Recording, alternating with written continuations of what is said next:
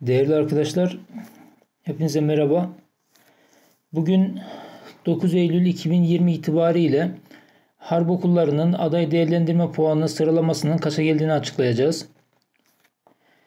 Vakit kaybetmeden tabloyu incelediğimizde Kara Harp Okulu'nun sayısal puan türünden 1288. adayı, Kara Harp Okulu'nun eşit ağırlık puan türünden 1204. adayı, Deniz Harp Okulu'nun 809. adayı, Hava Harp Okulu'nun 315. adayı, Hava Harp Okulu İstikam sınıfının 138. adayı, Sahil Güvenlik Akademisi'nin de 340. adayı çağırdığını görmekteyiz.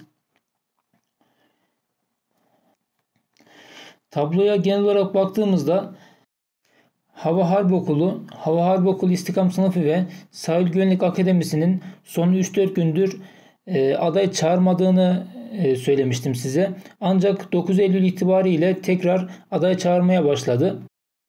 Böyle bir farklılık oldu tabloda. Bu şekilde aday çağırmalar bazen e, birkaç kişi artarak bazen 30-40 kişi artarak ayın 14'üne kadar devam edecek arkadaşlar.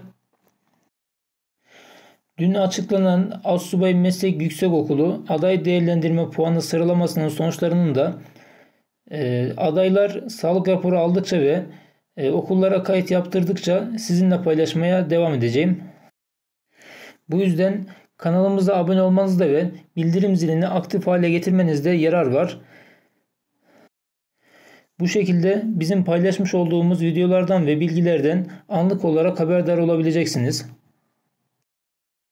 Yarın Harp Okulu sıralaması ile yine karşınızda olmaya devam edeceğiz. Şimdilik hepinize başarılar.